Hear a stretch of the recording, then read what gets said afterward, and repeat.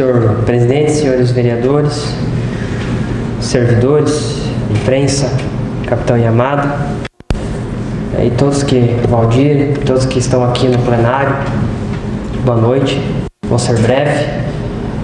Parabenizar todos os servidores da Câmara novamente pelo trabalho que fizeram para que a sessão solene fosse um sucesso.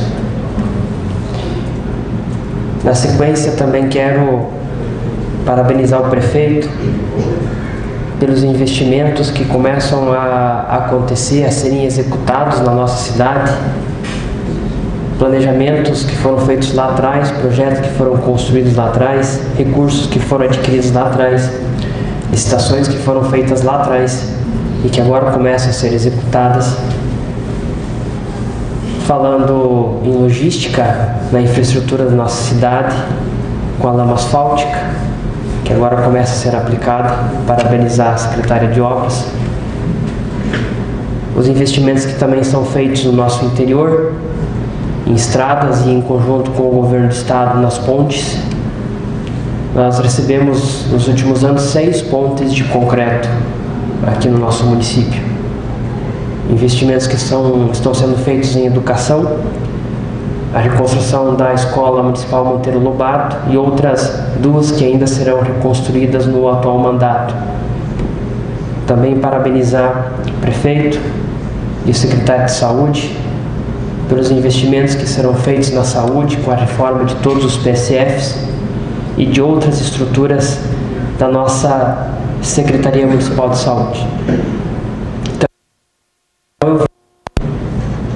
para falar agradecer pelo trabalho, pelo planejamento, pelo empenho que o prefeito e secretários, juntamente com os vereadores, têm feito e os resultados começam a aparecer e muitas obras vão começar a aparecer, principalmente em 2023 e 2024. O aeroporto ficou para 2023 também uma grande obra aguardada por todos nós. E por fim, também dizer que eu apoio esse projeto de conscientização, que eu acho extremamente necessário ser feito aqui em Canarana. Eu, minha opinião é de que deveriam sim ser feitos mais quebra-molas na nossa cidade. E esse aqui, no caso, é voltado para o motorista e para o pedestre ou ciclista também. A conscientização é muito importante. Eu mesmo eu estava numa rua entrando numa avenida e quando você entra na avenida você sempre olha para a esquerda, da onde po pode vir o veículo. Você nunca vai olhar para a direita porque não vai ter um veículo vindo na contramão. Aí tu pega e dá de cara com o ciclista. E aí era uma adolescente, eu acredito ali uns 15, 16 anos, numa bicicleta, por pouco eu não atropelei ela.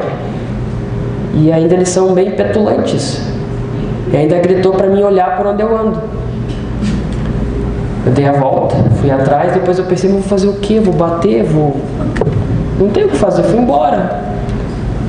Então acho que eu acho que é extremamente é, necessário esse, esse trabalho de conscientização para o motorista, mas também para o pedestre, também para o ciclista.